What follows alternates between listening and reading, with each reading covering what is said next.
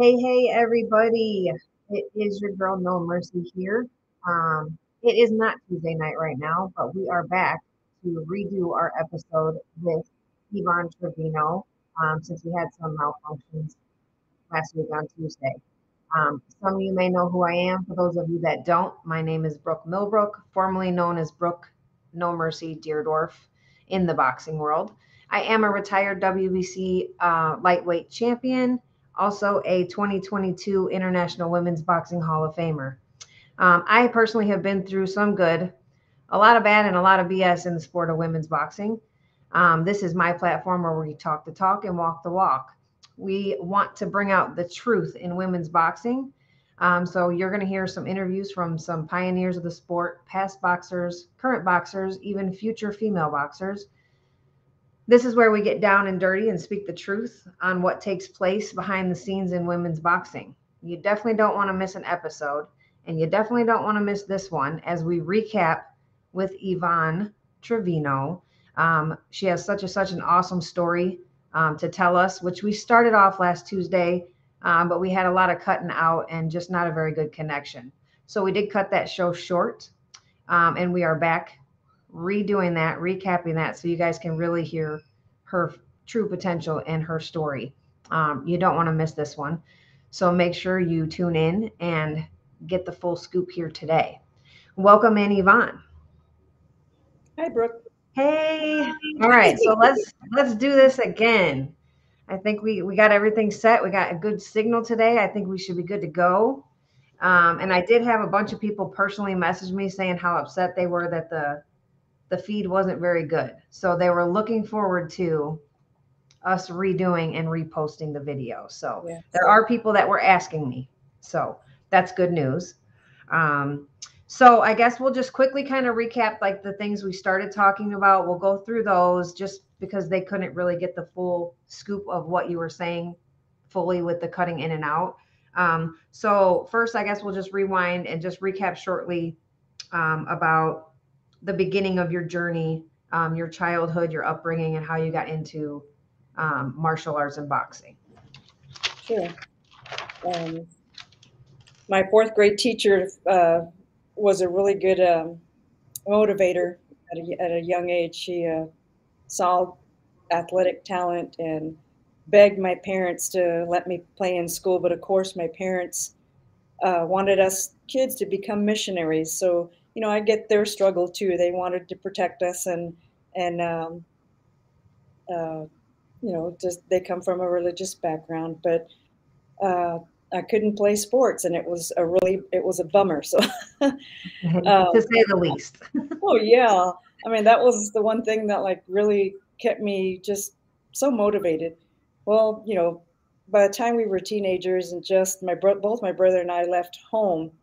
Um, we both kind of went our separate ways. You know, he he became a young parent pretty early, and I was out and about, um, you know, trying to snap out of uh, um, just leaving home and just trying to get back on my feet. And you know, you learn right away, being young, dumb, and naive, that there's just sometimes you can't trust friends that you think are friends. And, uh, I found myself in a situation where I was uh, at a place where someone had slipped a roofie in my uh, drink and it knocked me out. And I had no idea where I woke up and what happened. Um, it was really a difficult circumstance to deal with. And then on top of getting myself out of there, I didn't go seek the counseling.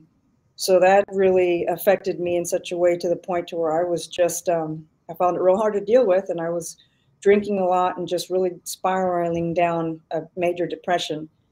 But the one thing that kept me going, of course, was sports. So I got back into uh, high school sports, got picked up on scholarships, basketball, softball, cross country. Um, and that's where I met my daughter's father. And uh, he was a, one of the softball coaches as well from one of the college teams. And we got married and all of a sudden everything just changed. And i found myself in this relationship that was very abusive where it just uh, um, i think it might have been a cultural thing. I'm not sure what reasons or excuses. I definitely won't make any but he found everything I that I would wanted to do or anything that um, well, just to explain a, a minor, I mean, an explanation of what an example of what I was going through is again, uh, I knew how to fix my own cars. I mean, my brother and, and I knew how to change belts when they were easier to work with, change oil, alternators, simple stuff. And when we were married, I always wanted to be out there with him while he worked on cars and, you know, handing him tools and whatnot. And, um, but he felt that, of course, a woman's place is the kitchen. And again, the same thing we were battling, and that at that time, women's boxing is just it was real hard to get past the male chauvinism of the industry. So mm-hmm. here I am trying to help him out, and he says, "Well, do you want to get down underneath here and and change the fuel pump?" And I said, "Sure." And he told me what bolts and nuts to loosen up, and next thing I know, the fuel fell in my eyes, and he just thought that was so funny. I ran in the house and tried to rinse the fuel out, and I thought, oh my God, I'm going to be blind now and, and yeah. able to see what the what the hell am I even in this marriage for? Because all we did was argue and debate, and I couldn't wear a, shirt that had one button unbuttoned, and then it was like drama. So eventually, you know, I just ended up saying, felt, you know, that I wasn't, uh, this is not going to work, and decided to get a divorce. But it became a real bitter divorce, and child custody battle. And everywhere I moved or went, it was scrutinized to the point we had to get CPS involved. And, you know, I, I played by the rules. I had to make sure um, that during our visitations or if we went to their location, that the relationship between my daughter and I was pretty much out in the open. And uh, everywhere I went, I had a, I had so many offers to go train um, with Bonnie Canino at her gym uh, of course, the gym that I was working at, Fairtex Muay Thai Camp, where both my daughter and I were living, closed due to some type of disruption with the current management. So I kind of find my found myself here in Arizona, looking for a pretty good team that would that could train me and that I could rely on to negotiate my fights. Here in Arizona, the promoters were no better. Mm, right. I had promoters that weren't paying the fighters, and then there was uh, courts uh, uh, um, battles over that. The same promoter uh, and my manager in Vegas were arguing over one simple plane ticket, and I couldn't take this fight because it was a battle between a plane ticket or taking a two-hour drive to get over here for one of my fights in Arizona. And these two guys were fighting over something that I just wanted to fight. I needed to stay busy um, that was pretty much the name of the game. Um, it was real difficult to stay busy. Yeah. Uh, this manager screwed up my fight against Jolene Blackshear uh, by not getting my weights, uh, this, the proper weight, and telling me it was 117 when really it was I was fighting flyweight 112. So when I arrived at that IFBA match against Jolene Blackshear, I had to drop five pounds. And of course, I went back to the room, layered up, turned on the heater, and shadow boxed until I dropped five pounds. Um, it, it, it was miserable. I mean, I, there was a lot of mistakes made. Um, uh, what else? Um, trying to think what else we went over. Um, that, I mean, that's good start there for the beginning. Um, you first started off um, doing kick, kickboxing. Um, yes tell us a little bit about your kickboxing titles and your um, kickboxing career. Okay, um, I've had a couple of kickboxing matches. Uh, I'm nine three on on my kickboxing, nine wins and three losses, and I fought for an Arizona State title, the United States title, and I remember going to the local um, uh, professional fighter, Michael Kalbahar Hall here in Arizona and I kept bringing all my belts to him and his brother Danny, who was his manager at the time. Uh, hey, I won this Arizona State kickboxing title, and women's boxing is coming around. It's starting to become very popular. Can you guys help me get sponsorships? I'd love to work out at the gym. And they, Danny at that time, uh, just thought, well, it's not really going on anywhere. And of course, they're thinking if they can't get their 10% cut out of, you know, cornering me or being there for a fight, then obviously they don't, they're not motivated. So I just stayed busy. I had a, uh, I already had won my uh, uh, international Muay Thai title against Kim Messer. Kim Messer and I both fought originally uh, for the ISKA title, and she she beat me on that title. And then we had an international Muay Thai title several months later to fight.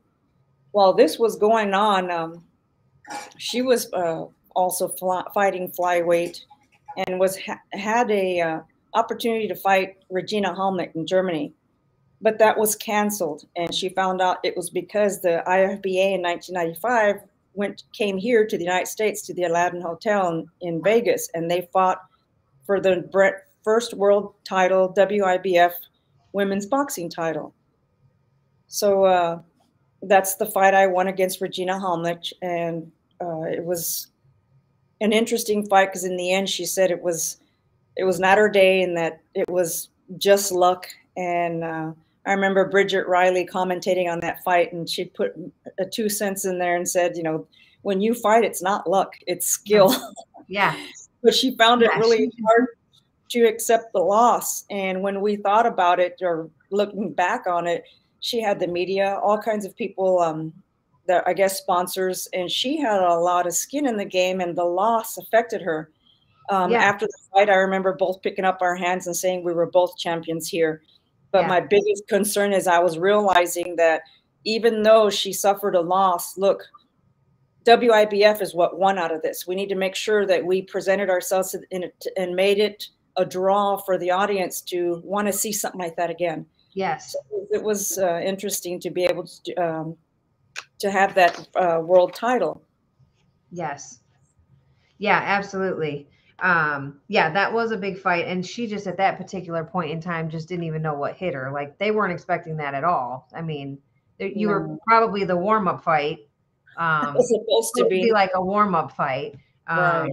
But that's why they always tell us never overlook, never underestimate any opponent mm-hmm. because everybody's right. coming to win. Well, so you, you know, underestimate anybody, but right. sometimes people overlook people, and that's probably what she did there was was overlooking you, and that wasn't the right answer at that moment in time. So well, ever ever since that fight, Brooke, um, the rematch never fruition uh, right after that, Kim Messer fought her. Everybody fought. Everybody in the flyweight was fighting in Germany, and it just always went to the scorecards and always went to, to Regina's favor. But the whole time, from winning that title, 1995 to about 1998, we were uh, Jimmy Finn at the time didn't do anything for the flyweight division, which was my division. I'm not sure about the other fighters in the their weight categories. There was no fights happening, and the IFBA was coming on the scene, and I wanted to stay busy, so I accepted uh, to for to fight a title fight for the International Federation of Women's Boxing, the IFBA organization. And Jimmy Finn said, "No, you can't do that. You're exclusively the WIBF." And I was like, "Wow, you know." the guys have all these organizations that they can fight for. What is the problem? And the only time I ever was able to defend that title was one time for ABC Wide World Sports against uh, Brenda Rouse, and she was Tommy Morrison's fighter in, under his stable. So that was the only fight. And there was a previous fight before that we'd asked Jimmy Finn to help uh, sanction, and it was against Delia Gonzalez on the undercard of uh, Bob Arum and Jesse James Leija undercard, and that didn't fruition. So I just don't understand what the reasoning was why he never kept us busy here on the flyweight here in the United States. But in Germany, I mean, Regina was being built up. All her fights were being built up. So I assume it was to eventually uh, perhaps get a, gain a rematch. But Dennis yeah. Diaz took WIBF over, didn't get a hold of me until about mid late 1998 and said, you know, do you want to fight? come back in and fight for the WIBF title or redefend it? And I says, well, honestly, I'm not even that weight anymore. I, I had accepted the IFBA, took the bantamweight bout, bout or fight, and uh, uh, I was stripped of that title. And I says, are you guys officially giving it back? And he was saying, yeah, you know, we'll we'll give it back. But I says, well, I'm no longer that weight. I'm just going to go ahead and stick with just one uh, weight category, and that'll be the, the bantamweight. So I declined, but um, yeah, I mean, things like that just really kind of stops the momentum. You needed to keep the momentum going. Right. Right. And um I would I mean most people would have assumed that after the you beat Halmich for the title that you would have fought Messer instead of Regina fighting her right after that Right, because right, you would think Kim would have wanted to fight you because you had the right, belt. But instead they stuck with the oth- with Regina even though she didn't have the title. So that Right. that's kind of confusing when you're those looking are back. those are missed opportunities. You know, you have to while the iron's hot, that's when you got to strike. Yeah, exactly. Um, so I know as we discussed before, you had several issues with um, like managers or uh, promoters and things like that and signing contracts with people.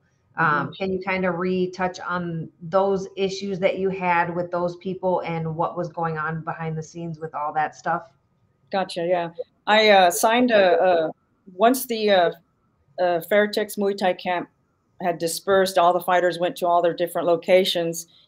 I found myself having to stay here in Arizona because I was going through a court battle, so I couldn't really leave town, and I wasn't allowed to leave the state of Arizona with my daughter because we didn't uh, set up the paperwork that way. I kind of failed to make that um, uh, th- thinking ahead of time that you know that I was going to need to make sure it was legal and whatnot. And um, so I just signed a contract in, in Vegas and I'd stay there and then I would come back periodically and make sure I spent time with my daughter. Um, in, in the meantime, uh, this manager was a friend that was uh, there in the corner of uh, my WIBF title match. Uh, he was a friend of my trainer, so I trusted that this person was was um, knew the knew the industry and would be able to help manage my fights. But all I found was that he was getting in arguments over a plane ticket, and not rather than driving to Arizona for one of my fights, you know, him and the promoter were fighting over a simple plane plane ticket, and that I couldn't take the fight. Um, then, then him and Jimmy uh, Finn got into debates and arguments over sanctioning that uh, Delia Gonzalez fight, and I'm sitting there listening to Jimmy Finn talk about how we weren't marketable. That after that WIBA fight, when you look at one of the pictures there, we all had our warm up suits. We all had our hair was wet, pulled back. Some of us had baseball caps on. And of course, we don't look um, presentable or marketable at the time. We just got done fighting. But yeah, you weren't you weren't going to a, a, beauty pageant. You were you were fighting. No, no. Um, so when he made that comment that we weren't marketable, we looked like we couldn't tell the difference between little boys and and women. And you know, after that, I started making sure I presented myself marketable. I I dressed up nice for my weigh-ins, and that could be a double-edged sword too, because then we weren't taken serious in the industry. Yeah, um, it was just the way they were promoting at that time. Uh, even the commentating, I remember having a uh, uh, what's his name, Ray Boom Boom Mancini was commenting on both Bridget and Riley and I's fight. And he said, I don't know if I, I like the idea of my wife being able to tell me, you better take out the garbage. And that if I don't, that she'd be able to beat me up and, and send me out there, you know, just talking about something as negative yeah. as that during the match broadcast, right. you know, say something more positive.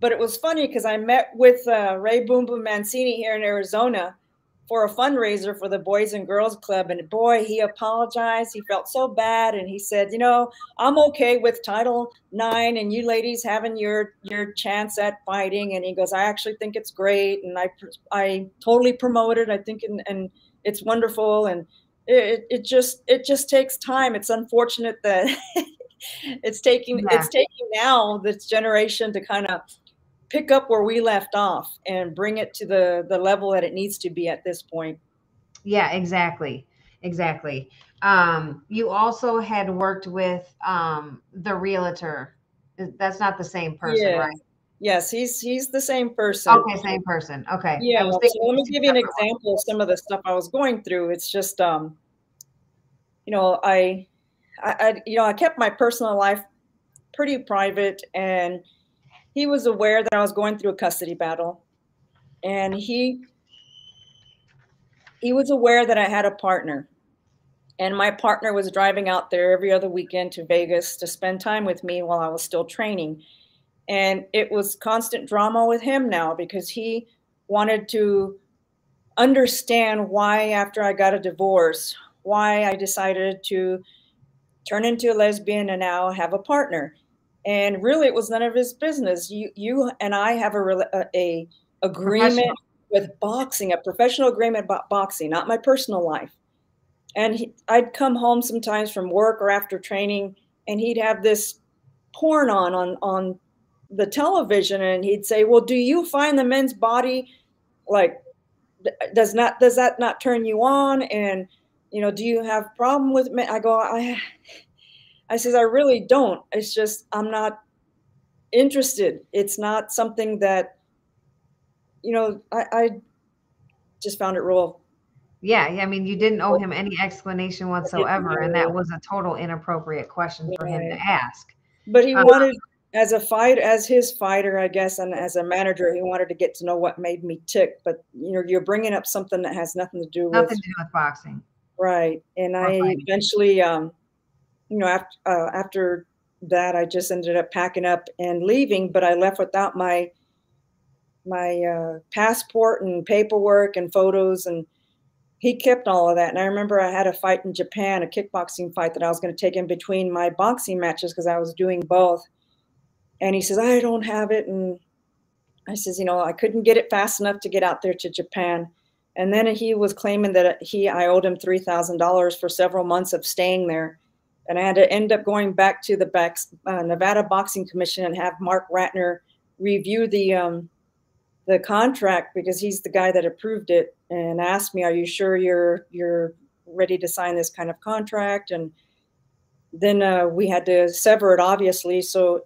we went to court, and finally, uh, it took about it took about an agreement of eight hundred dollars to get out of it. So after several fights, I got out of that contract, and I just didn't sign anything after that, not even with the IFBA. And I remember the IFBA wanted to sign a lot of us girls to be, uh, I guess, exclusive, or I'm not sure what the deal was, but I just said, no, I'll, I'll fight uh, and agree to dollar amounts for per round, but not any type of uh, um, contract to be exclusive after the lesson with the WIBF. Yeah. But at that time, because I didn't, I was finding out that I wasn't getting invited and promoted as one of the other gals that did sign. So it was it was a, a double-edged sword for me. You know, if I stayed exclusive, um, if I stayed a free agent or independent, uh, then you know I, I didn't get the best promotions. And there was times where I, when I did go to the IFBA, you know, you, I, I get the I get the game. Promoters have to have enough funds to have an escrow for insurances and to cover everyone, judges, the commission, a lot of expense goes out and then at the end it trickles down to the fighters right but to sit there and get all these limousines or these huge expenses i started thinking uh, there was a limousine that was waiting for us one time and i just felt so uncomfortable getting in. I remember telling you about it that yeah.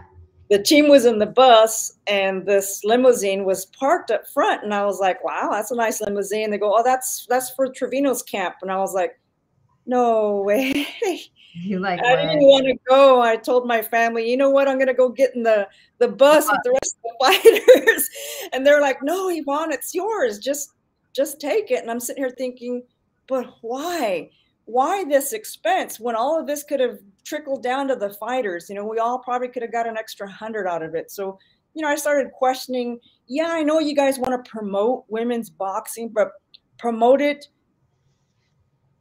in other aspects where you're getting um, the media and the uh, public more involved, not the stuff that's going to take us to the hotel and back. So I just was really torn about that. That really got me. yeah, yeah, absolutely. Um, yeah, I mean, sometimes you're, I mean, you're thankful for it and you're like, yeah, this is cool. But at the same time, you're like, I could have just, like, we could have just made more money. Yeah, we could have. So a little stretch there with it. Nice, nice thought. Nice. Yeah, it was. Gesture. But it didn't um, serve any purpose of anything. Do you see what yeah. I'm saying? It would have been better if you would have promoted the women with with that kind of income versus sinking it into something. Yeah, a little extra money in the pocket would have went a long way. Yeah, it, it always does. Um, so let's see. You, I'm trying to go in order again since I don't have my notes. Um, after so after the WIBA win, Um, we always touched on the Kim Messer thing. You should have been next in line for Kim. We talked about that. Um, um, in 1997 is when you fought Suzanne Riccio for the IFBA title um, and the struggles with getting that fight made. We talked about that with the issues with the WIBF not wanting you to fight for the IFBA. Um, so there was the struggle there. Um, we talked about Bridget Riley. We talked about her. Um, mm, mm, mm, Well, I do want to bring up a point. Remember about the point with Susanna Riccio Major that when you have a referee that comes to your um, dressing room when you're getting your hands wrapped and they're explaining the rules that listen to their commands if they tell you to go to the neutral corner go to the neutral corner make sure your your hits and shots are above the waist um, if i tell you to break break. And uh, we had the referee mitch halpern at the time the late mitch halpern. Great great referee. And he explained it very well.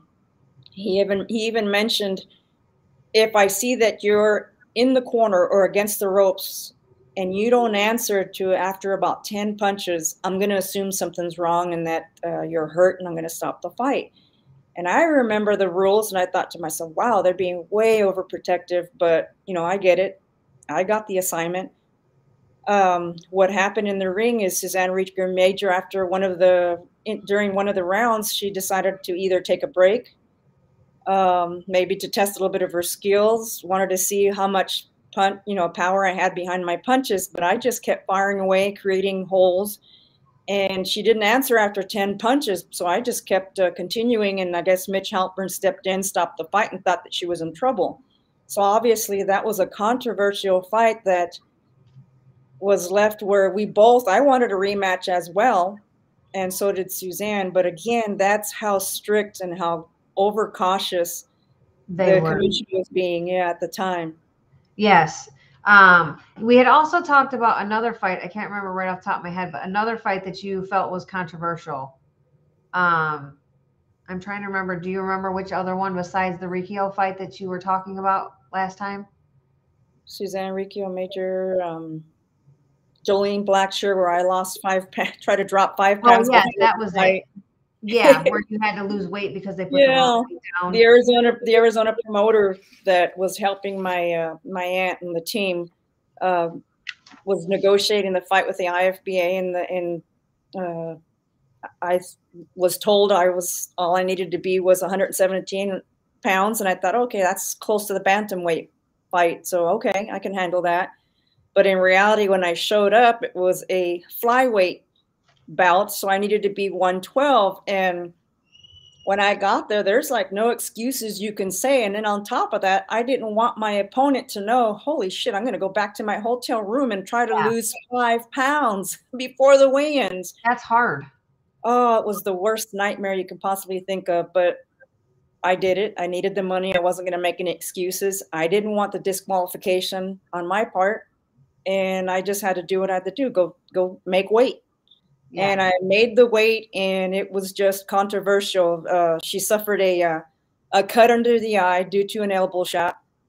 Um, uh, she was a shorter fighter, and honestly, I was trying to just survive and get out of the her way. Yeah, and you were literally just drained. time- in between that time, she came underneath my elbow. If you ever look at that fight, and she uh, suffered a cut in the eye, and they stopped the fight.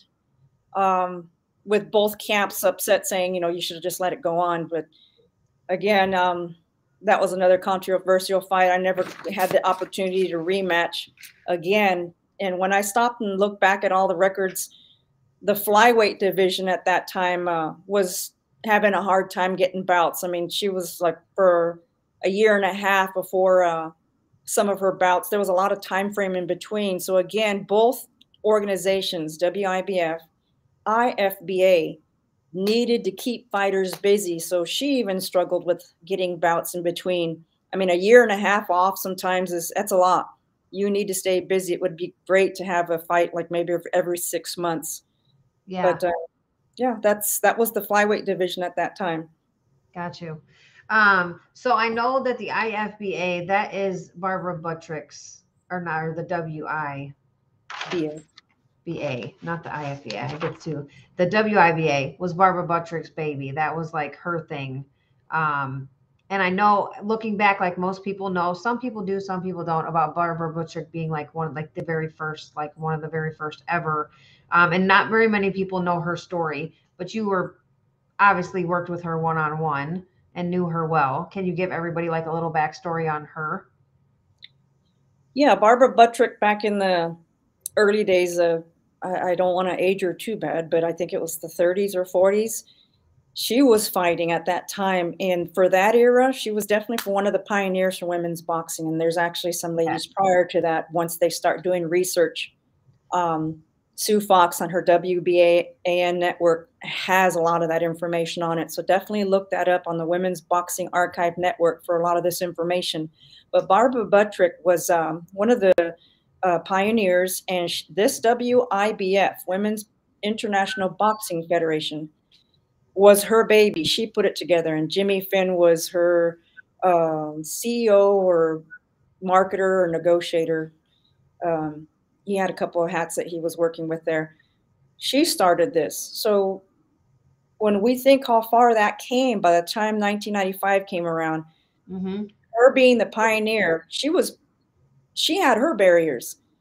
They yeah. looked at her bouts as circus acts, and it wasn't a circus act. She was serious. She needed the the the the men of that era or that time frame, the boxing industry, to take her seriously, and it was hard for her to find opponents. Yes, but to be put on a sideshow uh, pedestal was just terrible. But again, that's the strides that this industry has made and for her to put this first women's uh, international boxing federation together was was awesome of her to have done that. And it was definitely a um, a mile marker for all of us. It wasn't just a uh, um, wasn't just how do i say it uh, you know that we're not the only ones. Uh, it it it it came around at, a, at the perfect time. It was starting to um, give give us notoriety. And I do want to mention that, that time, Brooke, uh, if you remember, it was April 20th, 1995. The day before uh, the bouts, uh, Barbara Buttrick, WIBF, made sure Life magazine, all the media was there to cover the fights. And on the 19th, that's when the Oklahoma bombing happened, and all the media left left the boxing event. So we really didn't have a lot of coverage. But you get circumstances like that where it's ready to be put out in public, and then something happens and it doesn't uh, fruition. Yeah. Same thing, same thing with the IFBA. When I went to go fight in um, in uh, Mississippi against Suzanne Riccio Major, again they pulled the media together. Life magazine Ringside, all these magazines, the Associated Press, everybody was going to be there. And um, they were there, obviously. They interviewed us individually. And then a couple weeks after our bout, we were supposed to be on the cover of Life magazine. Let me see if I can find that. And Princess Diana dies, right? And it ends up being that she takes the cover of the magazine. Yeah, instead. Instead. So we and were just, there, but you're we just, just we were just running into barriers. It was just uh, interesting That's how like um, the Claressa the Claressa Shields Savannah Marshall fight.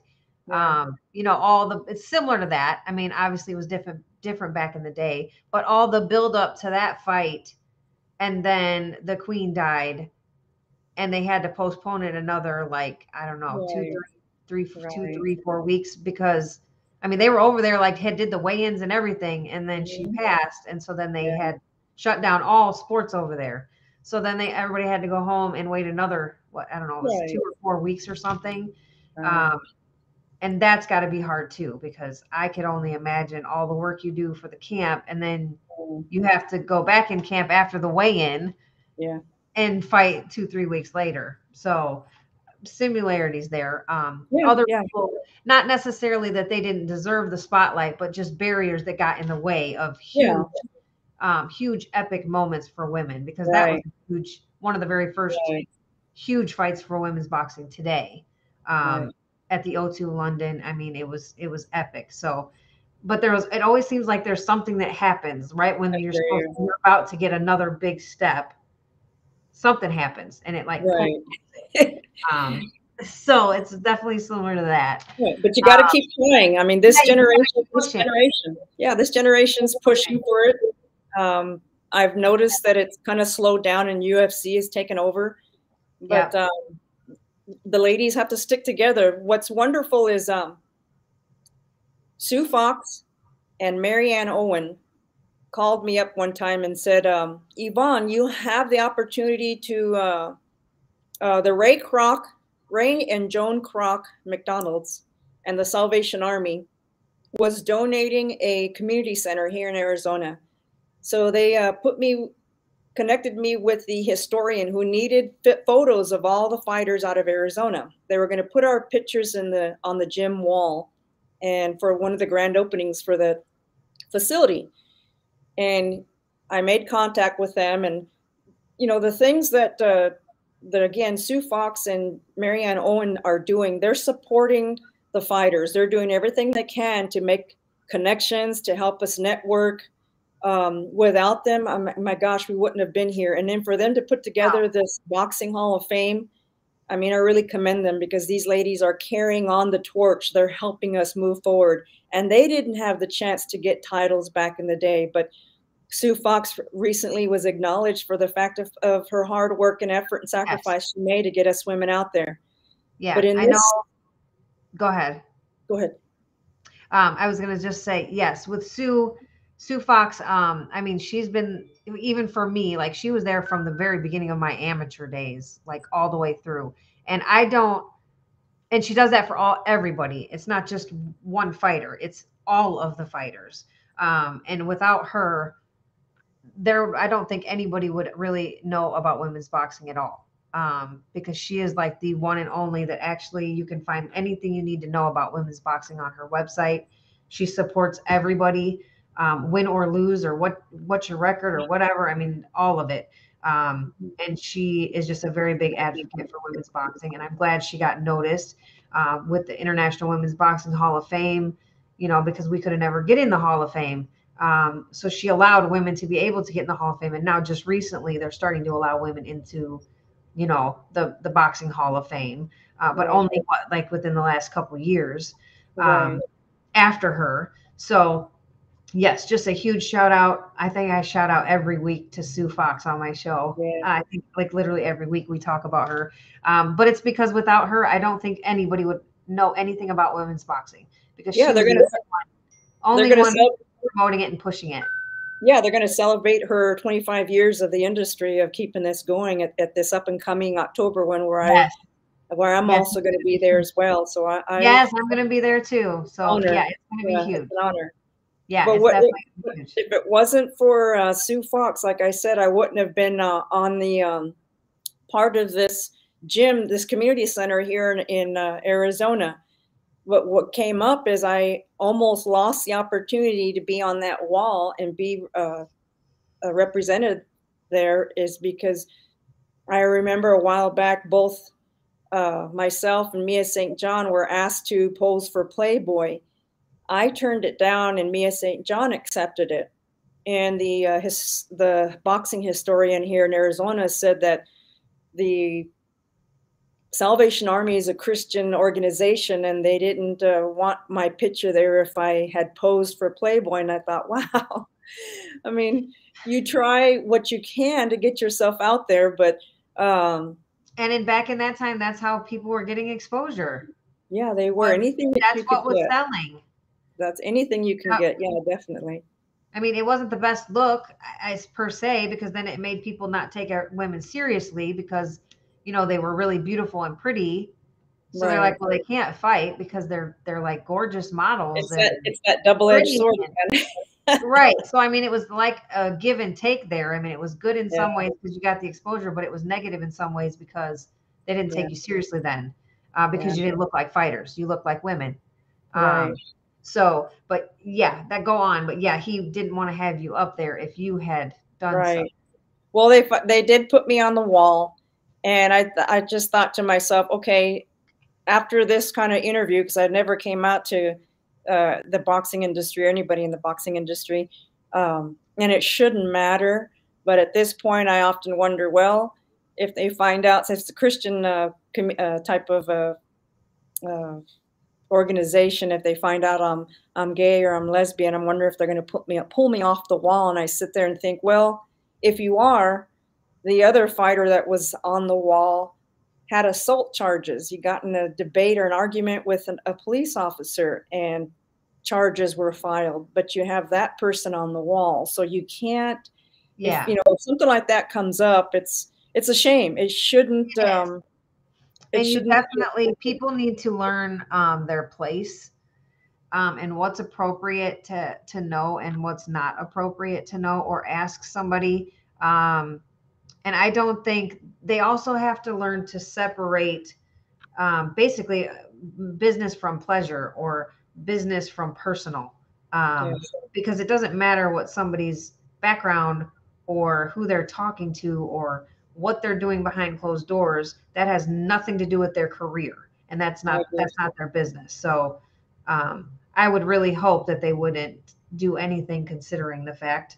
I mean you've already proven yourself that which i wouldn't think it would matter if you were in playboy i mean that shouldn't even matter um, because everybody had to make money and that's what they were asking women to do back then because yeah. they're chauvinistic and they're men and that's what they wanted to see so Therefore, they were asking the women to pose in Playboy or mm-hmm. to pose in magazines yeah. that and way. I needed I needed the money at that time, but I made the decision not to. Yeah. Yeah. So I mean, you just went with the roads that people were asking to take to get the exposure. If this is yeah. what you have to do to get exposure, well, I'm going to think real hard about doing so because I need the money. One and two, we need women's boxing to grow. So if this is the the path that we have to take temporarily, mm-hmm. then so be it. That's what we have to do, which is what I mean. The same thing Mia did. Um, I don't see there's anything wrong with it. I mean, right. That's what they were. That's what people wanted to see then, and that's it. Did help us grow. I mean, yes, yeah. they didn't really take it so seriously, but you just prove yourself in the ring that yes, we are right. serious. Well, Mia St. John. Yeah, Mia St. John obviously uh, uh, was wanting to be an actress, so it, it helped her format it obviously boosted hers. That's just like when uh, remember the model. Oh, I forget her name. Um, I, I remember telling Vanessa Williams when she posed for Playboy and it was going to cost her her career. Yeah, I mean, we have to get over. Look how that's the past now and how we've gotten over that hump. and she wanted exactly. to be an actress at the time. So yeah, and I mean, you do what you got to do, yeah. um, and just hope that it doesn't backfire later. I mean, that's yeah. really all you can do. um, you were also, which I know we did not discuss um, last week. Um, you were also you also on a documentary, um, Showtime Boxing, a different look. Um, can you tell everybody about the documentary, what it was about? Um, I know you can watch it on YouTube, um, yes. probably other places, but can you tell us a little about, bit about the documentary and how that came about?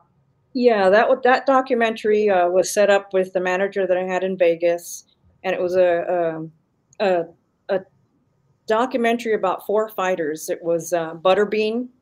Yep. It was the Tough Man contest. The gentleman that that fought all around the state for tough men, and as an aspiring fighter, and then a uh, a young kid who was going to become an amateur fighter, and then myself. So I was kind of packed, put in with the, those four categories so again, you took whatever documentary, interviews, anything that you can to keep the women's boxing uh, on, you know, marketable or marketed so that the public knew that we were out there. And right. yeah, that was uh, that was a real good, interesting uh, documentary. You know, again, um, the manager I was with uh, was being interviewed at that time, and he just uh, uh, took it upon himself to bring up a little bit of my past on that show, and I didn't want that brought up. But he was saying how he he uh, received a phone call from me and that I was in such dire straits, and he was going to do what he can to help my career out. But in reality, it wasn't. It was something else, obviously, going on. It was the custody battle, and yeah, there was days where I was frustrated, and it, it, it was difficult, and I was trying to work full time still get in for training in the gym and be a parent as well for my daughter. So it was difficult and driving back and forth and uh, you know, I made it work as best I could. Um, you know, you do what you Yeah. can as a parent. Yeah, you I mean, there was there was struggling. times where, yeah, there was times where her father ended up uh, uh, during some of my bouts.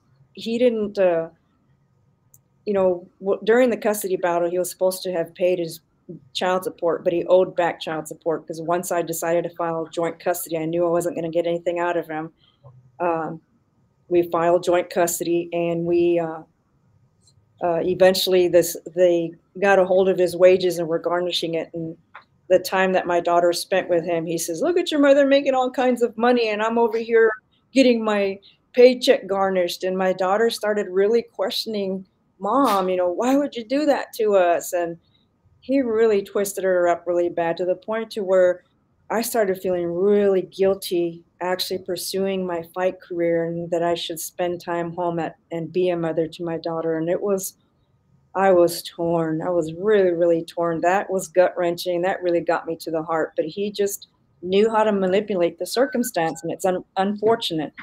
But you know, you persevere. I mean, now our relationship is great. Um, she felt the wrath of her father, and one day, you know, got in a confrontation with him, and now they've got a court order of protection uh, against him, and now he's uh, not involved anymore because we have a grandson now, which is just wonderful. It's a blessing. Um, I can't tell you, explain the feelings of being a grandparent now. yeah, but it's wonderful. It's wonderful. Yeah. And I'm so glad that um I mean I and it's really hard. I mean, I don't know how she, old she was at the time.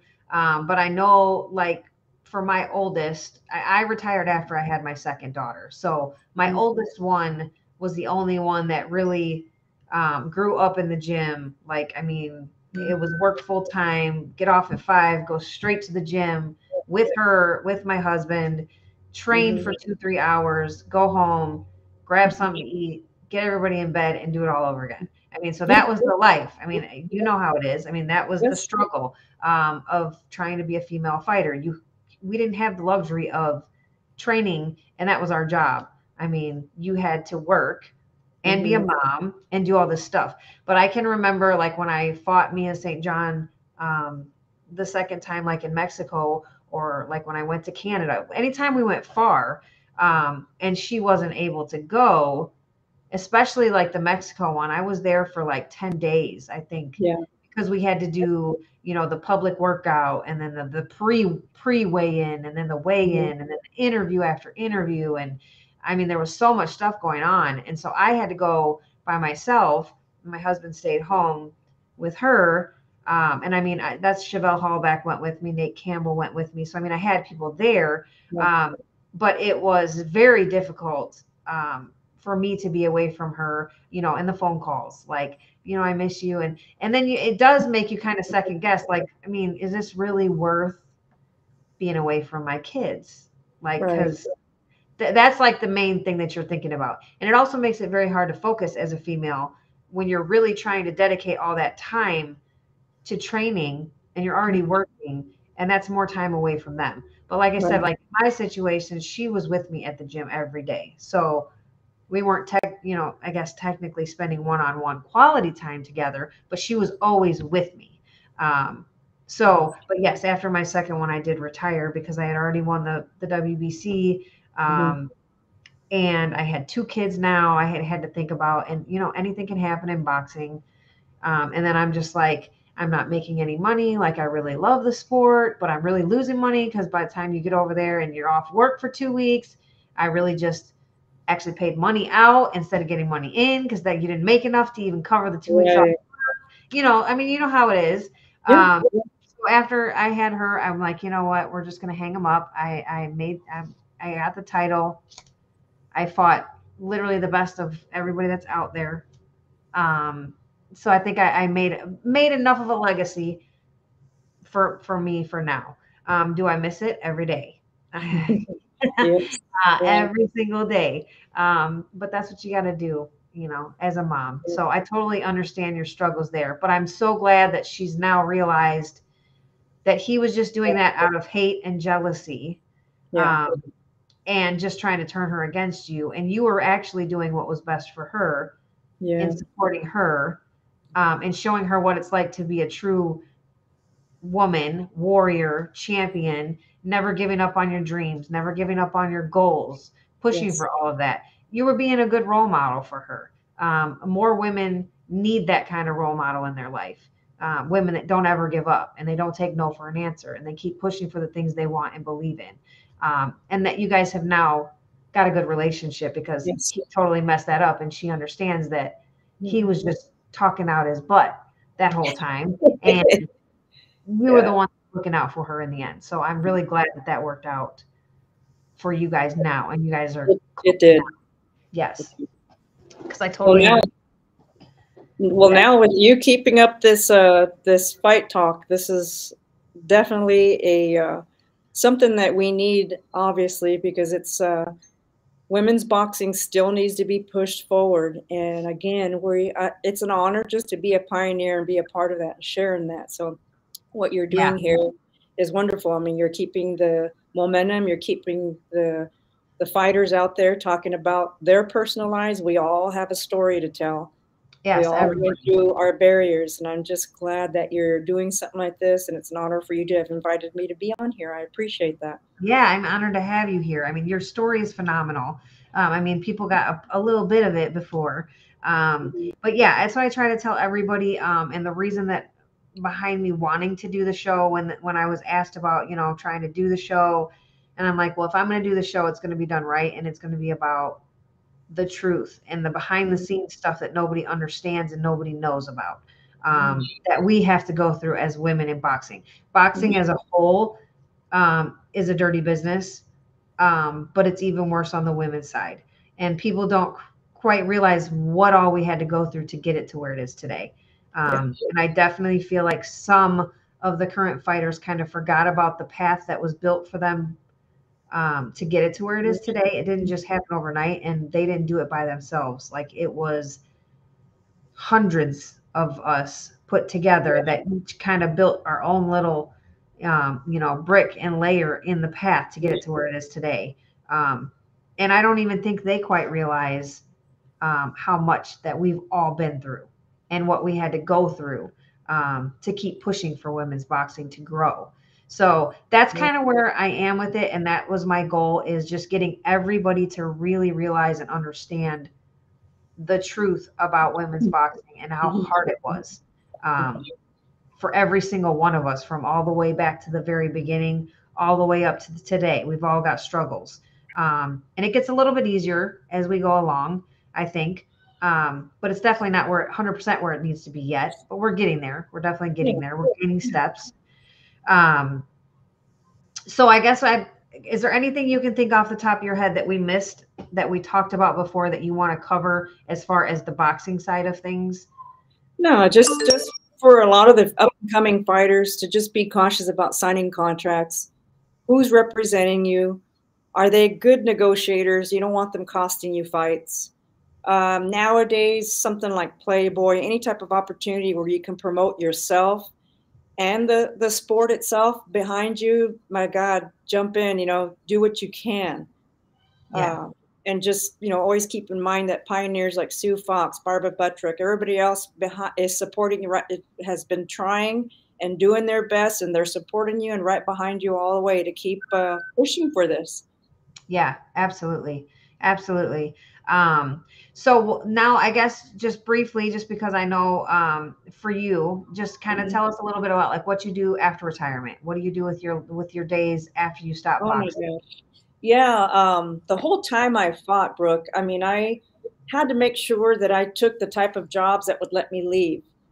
So I would take a lot of uh, labor ready, labor force, where I would work for like a couple of weeks, and then you know I told them I won't be here for like a whole week. I'll, I'll be out and a lot of time I was asked to become a manager or a supervisor and I couldn't commit because they weren't going to give me the time off.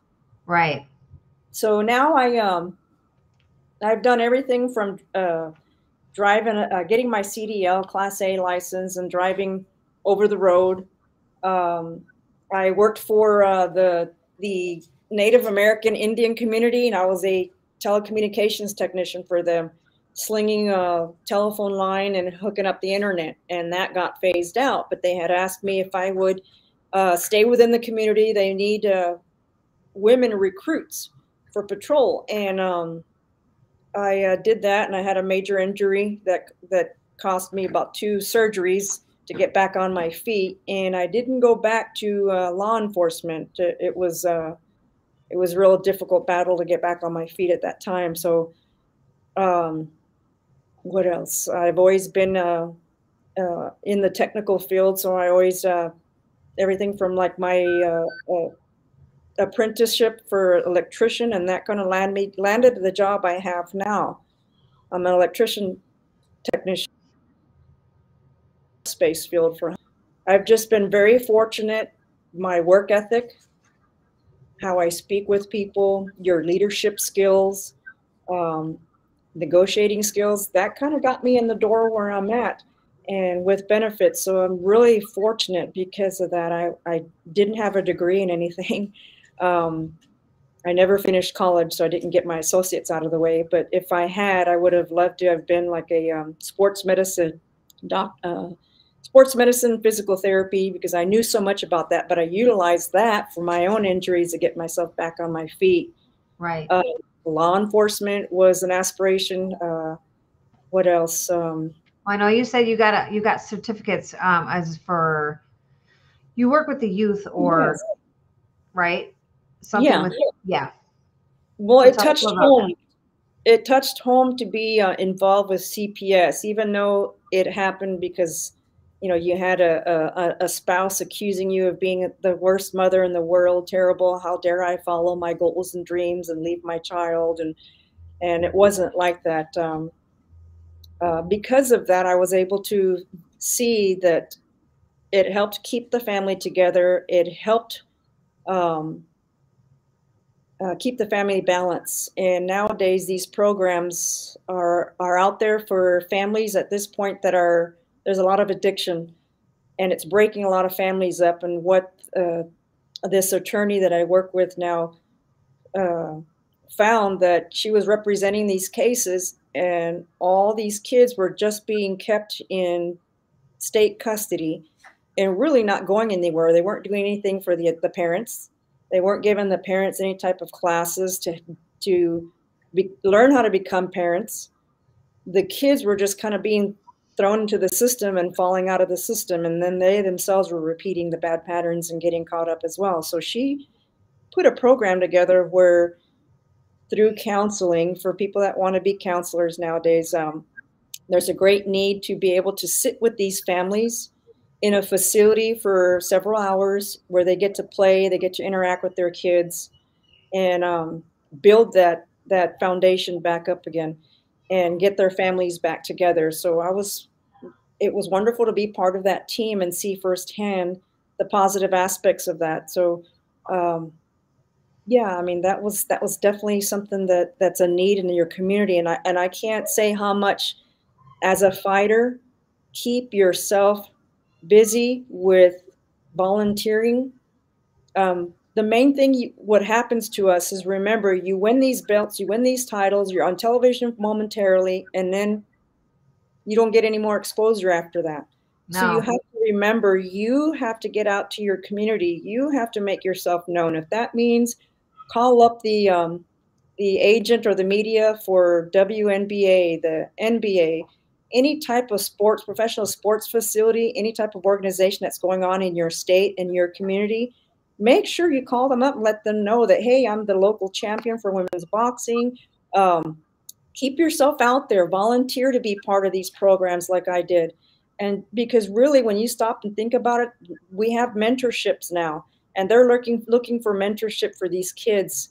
And it's just something that's needed so bad. You can actually be a superhero to these kids by just giving eight hours of your time for a month. All they ask is eight hours for a month. So that's like two or three hours a weekend and they even give you the funding to go to the movies with them or to take them out somewhere and talk to them so it's it's it's good you've got to be involved with your community you know is yeah. the belt the belt can only speak so much about your skill you want to you want to make sure you brush up and and let people know the personal side of you as well.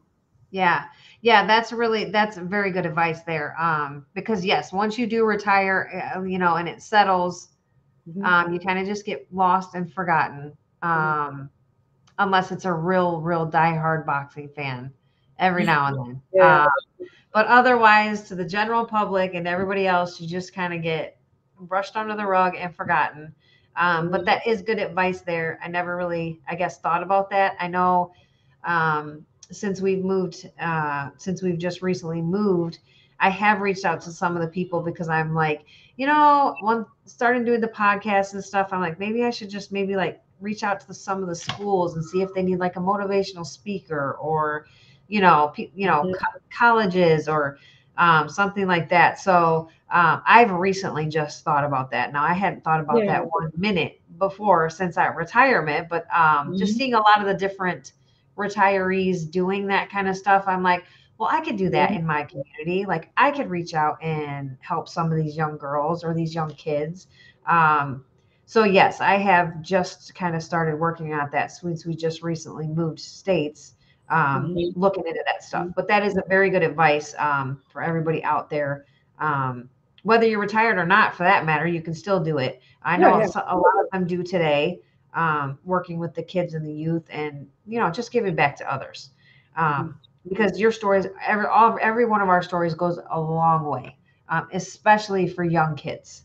Um, they look up to people, um, and especially people who are honest and they tell their struggles and all the stuff they've been through, and they still come out on top. Mhm. So that's the stories that these kids need to hear um, to give them the motivation um, to keep pushing and that realize that it doesn't matter where you come from because we all come from somewhere different.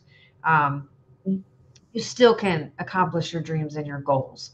Um, so I know a lot of the women have not such great childhoods and they come through a, through a lot, but they still they still keep pushing and they still push for their goals and their dreams and they still make it through, which is so much of a hero and um, somebody to look up to for people who are in those situations. And they're like, well, if they can do it, maybe I can do it. So um, it, that's great advice for everybody out there to kind of just make sure you're reaching out and giving back um, to the community.